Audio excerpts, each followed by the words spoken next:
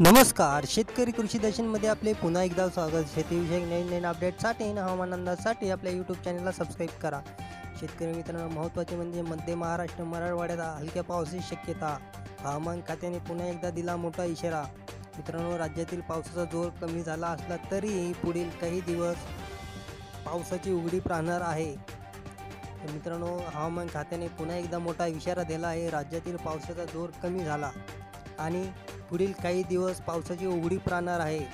तर आज तारीख पंचवीस खानदेशातील धुळे नंदुरबार जळगाव मध्य महाराष्ट्रातील नाशिक नगर सांगली आणि सोलापूर या भागात आणि मराठवाड्यातील औरंगाबाद बीड जालना लातूर उस्मानाबाद हिंगोली नांदेड आणि परभणी जिल्ह्यात ठिकठिकाणी तुरळक ठिकाणी विजेच्या कडकडाटासह हलका ते मध्यम स्वरूपाचा पाऊस पडण्याचा अंदाज हवामान खात्याने व्यक्त केला आहे.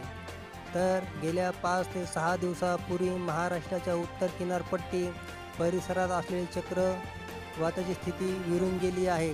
त्यामुळे राज्यातील पावसाची तीव्रता कमी झाली आहे.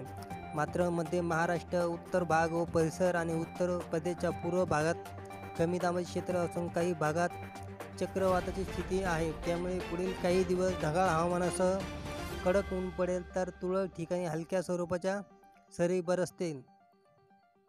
आज कोकणातील सर्व जिल्हे पुणे कोल्हापूर सातारा व विदर्भातील सर्व जिल्ह्यात हलक्या काही ठिकाणी हलक्या पावसाची शिडका होईल असे हवामान खात्याने सांगितले.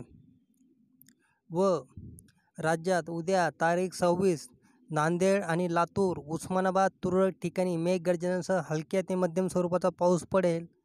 तर कोकण मध्य महाराष्ट्र विदर्भात तुरळक सरी परस पडतील व रविवारपासून तारीख सत्तावीस राज्यातील काही भागात काही अंशी ढगाळ राहणार असून अनेक भागात ऊन पडेल. त्यामुळे काही प्रमाणात उकाडात वाढ होऊन कमाल तापमानात वाढ होण्याची शक्यता आहे व पुणे परिसरातील ढगाळ हवामानासह अधूनमधून ऊन पडणार असून तुरळक सरी परसतील पडतील.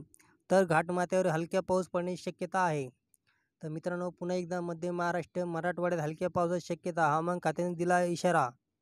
तर शेतकरी मित्रांनो तुम्हाला हा व्हिडिओ आवडला तर आपल्या शेतकरी कृषी दर्शन चॅनलला सबस्क्राईब करा बेल ऐकून नक्की दाबा जेणेकरून नवीन नवीन अपडेट मिळत राहतील. जय हिंद जय महाराष्ट्र.